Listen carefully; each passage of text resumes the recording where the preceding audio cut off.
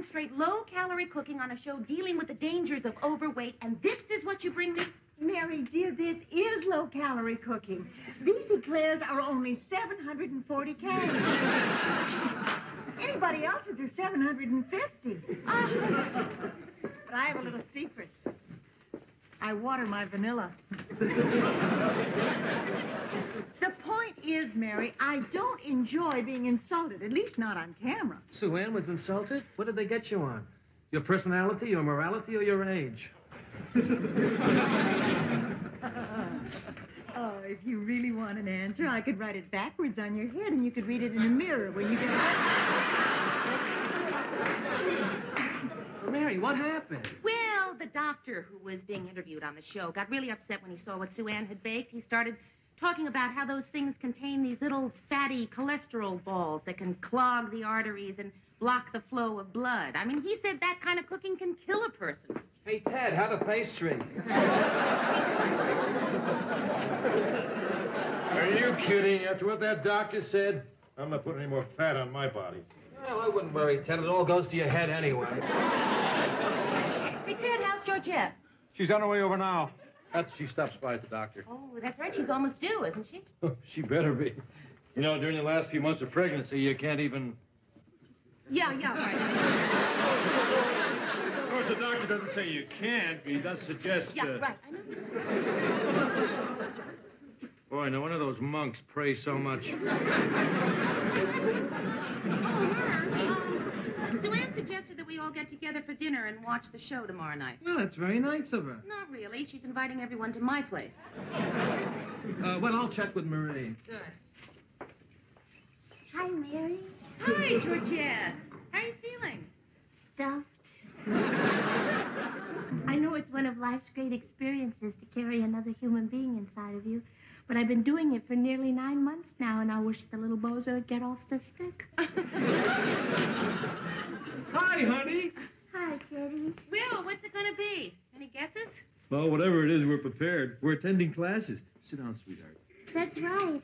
Ted wants to participate in the whole thing. Oh. Look, I got this for when Georgette goes into labor. It's a stopwatch. It's for counting and timing the contractions. Mm-hmm. Boy, this is a lot of fun, Murray. You know, you can time anything with this. Try it. Okay. Uh, I'm going to see how long it takes before you say something stupid. Is that an insult? Three seconds. Not bad. Hi, Georgette. How you feeling? Fine, Lou. Hey, this looks interesting. yeah. Mm. Somebody wanted the vanilla. Oh, Mary, Marie's got a committee meeting tomorrow night. She just can't get away, so I'll be coming by myself. Oh. Come where? Oh, Mary's throwing a party so we can all watch her special. What time do you want us to be there? well, listen, I'd, I'd love to have both of you, but I imagine, you know, with the baby almost due, you probably don't want to make any plans. Oh, that's not true, Mary. It could happen now or it could take three weeks. So please let us come. It's either your party or another evening of listening to Ted talk baby talk to my stomach. well, okay, terrific. So, Mary, I'll see you tomorrow night. Then. Okay, good. Bye, Teddy Bear. Bye, Georgette. Goodbye, Witty, Witty, Witty, Witty. Hey, Mer. Yeah. What do you say you and I have an early lunch today? Oh, sure, Lou, sure. Boy, this is so good. Mm. Mer, do you think Mr. Grant's been putting on a little weight lately? I don't know why. I don't know, that doctor just has me upset, the way he kept talking about how unhealthy it is to be overweight. Mary, you can't talk to Lou about his weight problem. I mean, you know how sensitive he is about his appearance. Remember the time you told him his tie was too narrow? He ripped it off and threw it at you? Now you're going to tell him that there's something wrong with his body? Mer, I am not afraid to tell him what's on my mind. Mm. Mr. Grant, What is it, Mary? nice tie. Yeah? Why, thank you very much. Mr. Grant, I know this is probably none of my business, but when I saw you take those chocolate eclairs, I had to come in here. Oh, oh, you want a bite? What's the matter? It's delicious. No, I'm sure. I just, I don't uh, care for any right now. Oh, It's uh, it's not because I took a bite out of it. Oh, it. no, no, Mr. Grant. I don't want any. Really, what I wanted to talk to you about, If you though, is- offered me a bite, I'd take one. Yeah, I'm sure you would. Mr. Grant, do we really have to keep talking about this? Well, when somebody turns down a good homemade eclair, there's got to be a good reason. Now, for example, one reason okay, might okay. You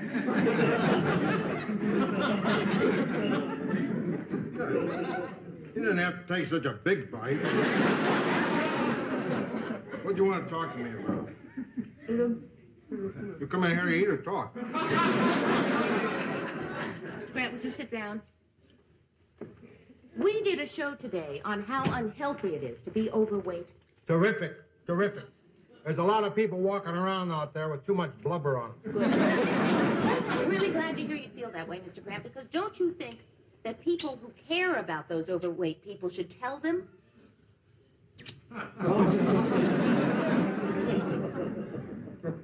Not necessarily. How come not necessarily? Because I'm beginning to catch on, that's why. Do you think I'm fat, Mary? Oh, Mr. Grant, see, there you go. You always use a harsh word when I don't want to, when actually I want to, you know, use a. But any word you use would mean fat. Well, I guess you take it that way. Mm-hmm. Mary, I'd rather you didn't tell me that I was fat. Well, I think we've already gone past that, Mr. Grant. I think that I already have sort of said no, no, no, you're- not yet. Not yet.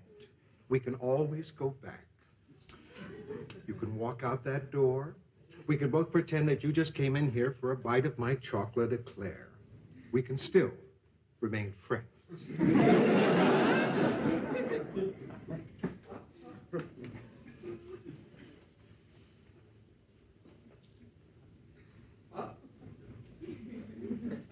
Be smart. Let's pretend. I can't. You've got to lose some weight. Well, you did. You called me fat. what do you think? That I don't have any feelings? Huh? You think I don't care about my appearance? Huh? Is that what you think? How would you like it if I insulted you? Huh? huh? I am not So I started discussing your you. faults. I'm just trying to help you. Right. But first, let me help you with some of your faults. Would you please sit down, Mary?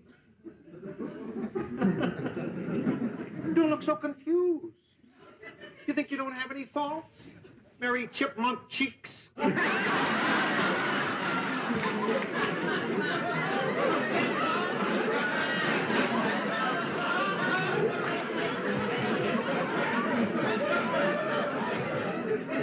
Please don't do this. Mm-hmm. Yeah. Mary, no faults? Huh? Every little strand in place? Huh? Let's all go on a self-improvement kick. Huh? What do you say? I'll lose some weight, and you lose some teeth. you must have 50 or 60 of them. Are you quite finished, Mr. Grant? Yes. Well, apparently, Mr. Grant, you seem to have felt some need to hurt me because I'm oh. trying to help you. Well, I won't respond by insulting you. I'm simply going to try to bear in mind that some people, when hurt, say things they can't possibly mean. I really hate it when you get classy. How very unfortunate. I am not fat. You are too. Okay, I'll do what you want. I'll do without food or drink. Nothing. Oh, no come on. food or drink. No, okay? Satisfied? Huh? Starting today, I fast. Nothing. Is that it? Anything else? No. Yes. I also came in here to invite you to dinner tomorrow night.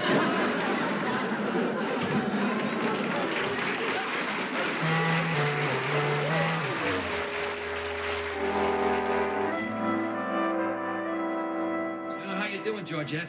Pretty good, Murray. But I'm getting tired of being kicked in the stomach by a stranger.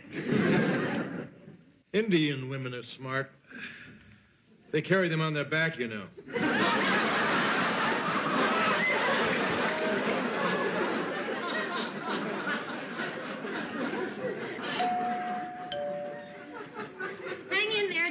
almost ready. Hi. Hi, Lou. Mr. Grant. Hi. Am I late? No, no, we're just about to have dinner. Well, I'll just sit and watch you thin folks eat. Mr. Grant, please don't start that again. Please. You see, Mary thinks I should lose weight. Oh, nonsense, Lou. Your body's perfect. I wouldn't touch it. if I did, I wouldn't stop. Well, Mary thinks. Dinner is served. Oh, great. You gonna keep this up all night? Of course not, Mary. You ought to know better than that. Fat people are jolly. Boy, doesn't this look good? Oh, look at all that. Hey, Mary, tell me. Do you think a single raw carrot would put any more ugly fat on me? Not if you stuck it in your nose.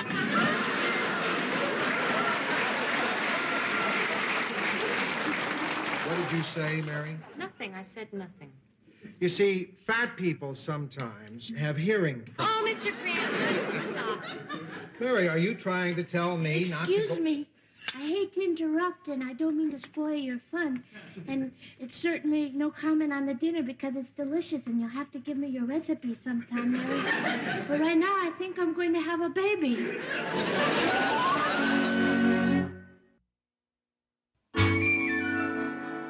Georgia, I think you should Dinner's going to get... No, no. If you like.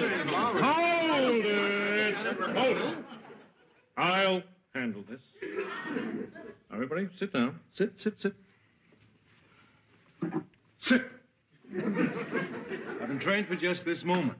The first thing to do is to be calm. Everybody, don't lose your heads. No panic, okay? Oh, sweetheart, tell me what your symptoms are, okay? Ted, don't you think we should call a doctor? Shouldn't we do something? Mary, I don't want to slap you. now, we need absolute calm, okay? Keep a hold of yourself, all right? I'm sorry, Ted. All right, Georgia. Just tell me what your symptoms are. It's okay now. It stopped. It went away. But for a second, it was like my stomach got very pushed out, and someone had tied a belt around it real tight. Oh, I had that, but Mary explained it to me. Just don't quit, do you? All right, let's see. Stomach pushed out, belt tight, went away. Got it. I'll call Dr. Morton and report my preliminary findings, okay? Mary, would you mind if I got a breath of fresh air? No, no, come on, I'll go with you. I'm sorry to ruin everybody's evening. You're oh, not. Well, I'm having a wonderful time. I never realized the last stage of pregnancy could be so stimulating. Almost as stimulating as the first.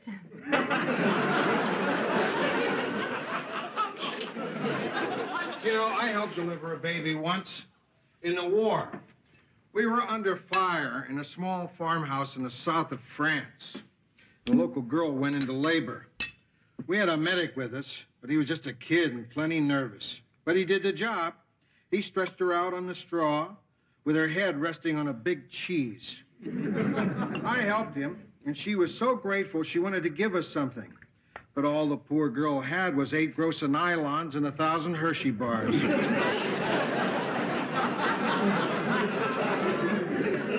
now, I feel much better. Thank you, everybody. Ah, well, if you start feeling sick again, dear, just put your head down between your knees. It's okay. There's no rush. The doctor says this could drag on for days. Apparently, he's been to Mary's parties. Now, you see, contractions can start or stop, especially with the first child. But don't you worry. He and I are watching it very closely. See, when your contractions get down to 10 minutes apart, then it's time to go to the hospital.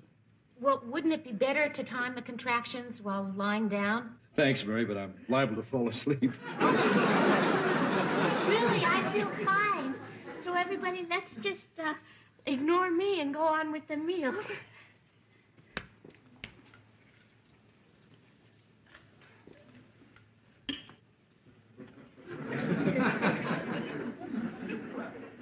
Please, you're embarrassing me. If you let me ruin this party, I'll feel terrible. Let's just go back and start up where we were. Well, okay, uh, let's see, uh, What were we talking about? Don't ask me. You see, fat people sometimes have poor memory. Oh, will you stop it, Mr. Grant? There, that's more like it. Come on, everybody. It's almost nine o'clock. Mary, there is something wrong with your picture. Try the horizontal hold. Oh, later, Lou. First, let me fix the teeth.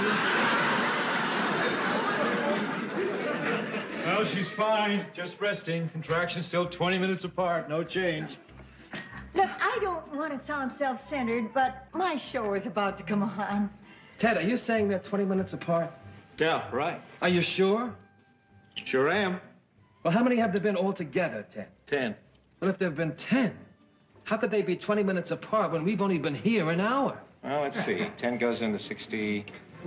Oh. Oh. And I, I paid a buck and a half for this thing. Teddy, I don't feel so good. I think I should go to the hospital. You want me to drive you? Ted, you better get her to the hospital Keep calm, fast. everybody. Keep calm. First, I'll call the doctor and tell him to meet us there. No, no, Ted. We'll call the doctor and you get her to the hospital now. Oh, Mary, I think it's too late for that. Things have already started. Started? you mean the baby here now? Oh no, don't, don't, Georgia, please, please, please, don't, Georgia, not now. Uh, Ted, it's the doctor. Oh, I'm sorry. I forgot my training for a moment. Don't worry, Georgette. Everything's going to be fine. That's right, and we're right here with you. So, you're going to have a baby. Therefore, there are certain common sense things that should be done when someone's going to have a baby. Like what? The doctor says. Don't try to move her when she's starting labor. The hospital's too far. Uh, put her to bed and uh, wait for him to get here.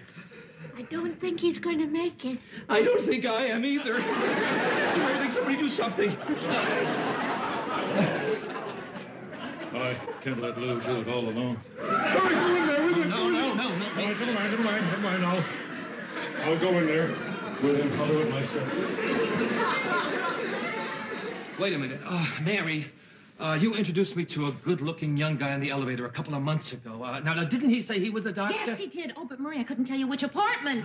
Third one down the hall on the left.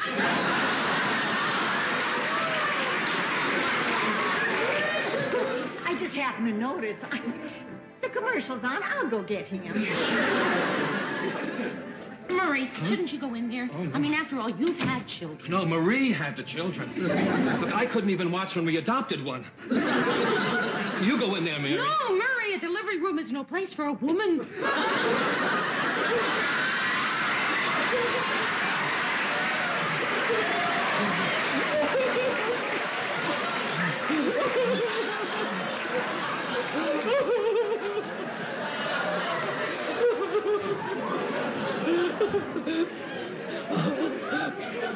Somebody's got to help me. They're dropping like flies in there. I wanted to help. I, I really thought I could go through with it. It's okay, Ted. It's okay. You did just fine. I'm sure Georgette appreciated the knock-knock jokes. Now, I'm going to need someone in there to help me. You're not fat.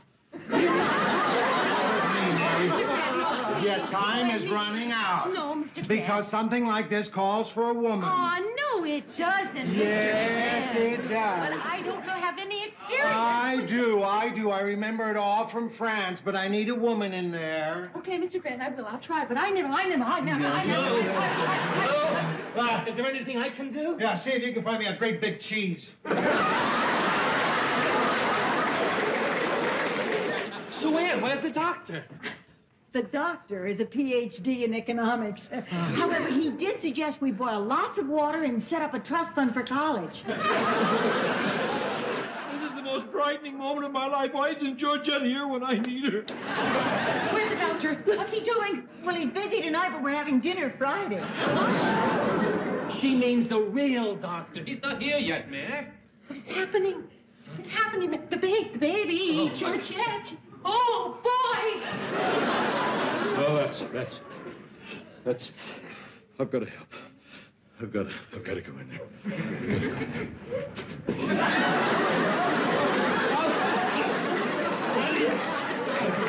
Oh, steady, Ted.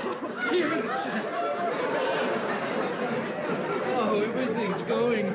Oh, this is awful. I feel awful.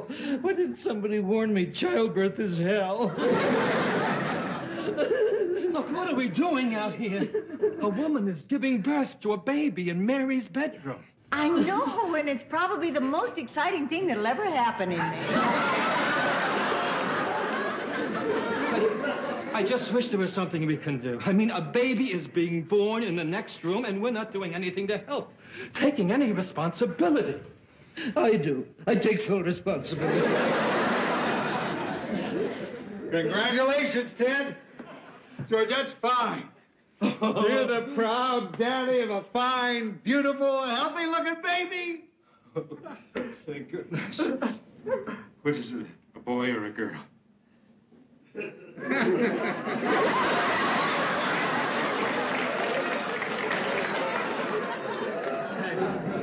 that's wonderful. Congratulations. Congratulations. For what? For being a coward? For leaving Georgette in her hour of need? She'll probably never want to see my face again. Ted, your wife and daughter would like to see you. Daughter. How, how do I look? Like a father. Gee.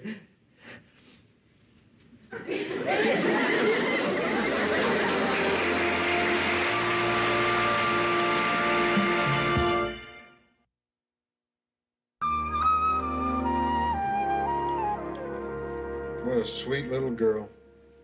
I've never seen anything so beautiful in my whole life. Mm. And you did it. Oh, come on, Mary. I did nothing that a competent surgeon couldn't have done. I really think you're terrific, Lou Grant. This is a very sweet moment, Mary. Yeah, it is. I can't wait for it to end. How are they, Doctor? They're fine. I want to congratulate you both. You must have done everything right. uh, may I use the phone? Yes, it's right over there. Thank you. Hey, when did Murray and Sue Ann leave? I never said goodbye. Oh, well, I did. You sort of had your hands full. Mm. Hey, I'm a daddy. I'm a daddy. Have a cigarette. No. No. We're on the way to the hospital now. Oh, incidentally, Georgette and I have been talking, and we want to name the baby Mary Lou.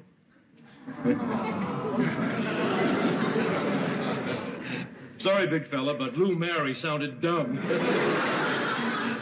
oh, Nice meeting you both. Same, Doctor. Just a minute, please.